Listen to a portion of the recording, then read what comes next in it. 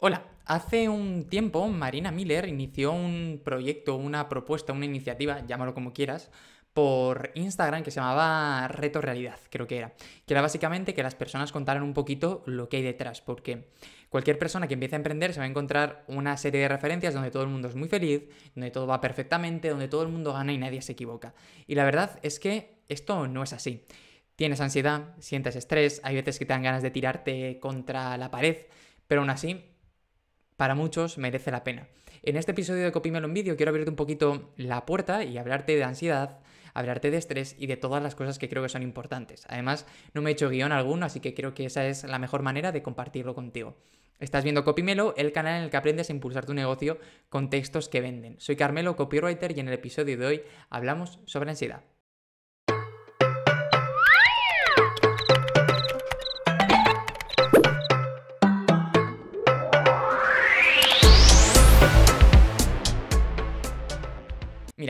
Mucha gente se mete a ser emprendedor porque piensa que así no va a trabajar nunca. Creo que ha hecho mucho daño la frase de trabaja en lo que te apasiona y así no trabajarás nunca.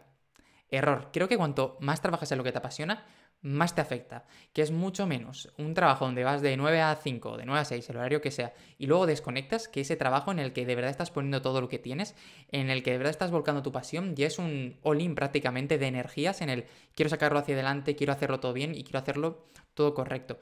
Inevitablemente, emprender te cambia muchísimo la vida. ¿Por qué? Porque de pronto pasas a tener un horario diferente a lo que es el resto del mundo tus amigos, tus familiares, pues tienen un trabajo de lunes a viernes y el sábado y el domingo descansan. Tú te lo puedes montar y yo me lo suelo montar también para que sea así. Pero hay fines de semana que no, hay momentos en los que un jueves a lo mejor no te puedes ir a tomar algo porque tienes que entregar algo y estás hasta las tantas, un sábado que te despiertas y necesitas avanzar, lo que sea, hay mil posibilidades distintas que en otros sistemas normalmente no se contemplan. Y evidentemente esto te causa más de una discusión con personas porque muchas veces no entienden que tú el viernes no te puedes quedar hasta tarde porque el sábado tengas que hacer algo, o no entienden que ese viaje no puedas ir por lo que sea, ¿no? Ahora con el COVID todo se ha vuelto más sencillo, pero hace ocho meses todo era muy normal, o la antigua normalidad esa que tanto nos han, nos han vendido, ¿no?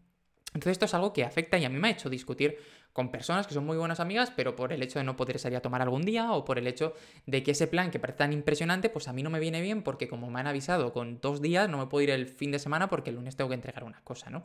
Y son cuestiones que están ahí. También está el, esa falta, esa sensación de control que intentas tener, que luego no es así. Cuando emprendes hay muchas cosas que están fuera de tu control. Hay otras que sí, que están ahí, que más o menos las puedes gestionar, pero la gran mayoría de ellas no es así, están ahí tienes que adaptarte, tienes que gestionarlas y tienes que sobrevivir, básicamente. Y esto muchas veces no se cuenta. Y es que hay miles y miles y miles de cursos que están viniendo, emprende, sé feliz, sé tu propio jefe, es el sueño de tu destino, trabaja cuatro horas, vive en Bahamas, 800 cursos así.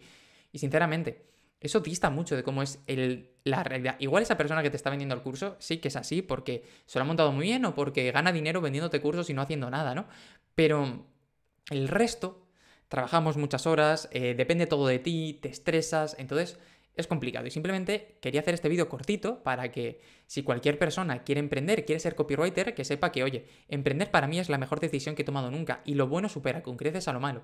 Pero hay malo, hay cruces. Y esto hay que saberlo para que luego no te pille desprevenido y digas, oye, Carmelo me avisó. Y eso está genial. Así que nada más. Eh, no sé si hay algo más que quiero contarte, pero creo que la idea está ahí. Si te ha gustado el vídeo ya sabes que puedes dejar un me gusta y suscribirte y nos vemos en el próximo vídeo de Copymelo. Adiós.